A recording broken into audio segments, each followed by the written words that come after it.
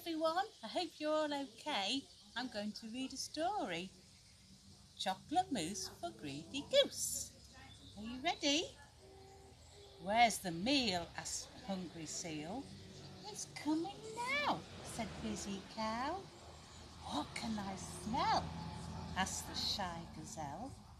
Macaroni, says Shetland Pony. Too hot for me, says Chimpanzee. Blow on it then, says Mother Hen. Carrots, yuck, says Fussy Duck. They're good for you, says Kangaroo.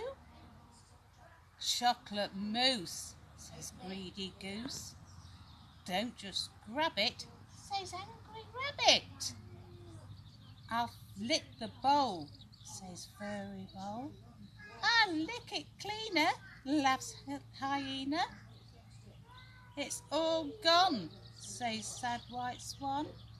I'll eat the cloth, says happy moth. Let's wash up, says helpful pup. But lazy sheep says, no, let's sleep. How was that?